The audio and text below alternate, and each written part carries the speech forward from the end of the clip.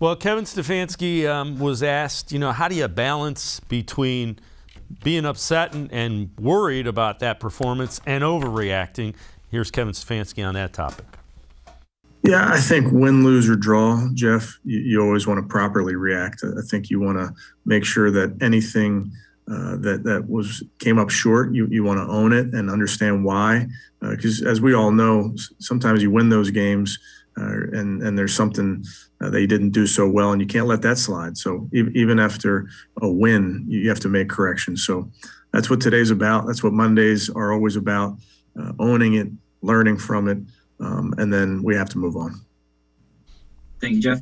They may need a, a separate day for corrections uh, on that one because there's a lot of them. Yeah, there's no doubt, and you know I know fans want Stefanski to, you know, be more angry and take more responsibility. Although I mean he takes responsibility, but they want different answers and they want some more emotion.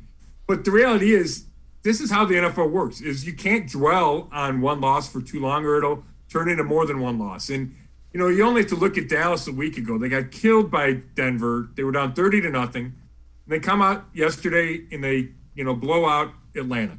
So it is a league where you can make turnaround in one week. And we saw it from bad to from good to bad for the Browns a week ago.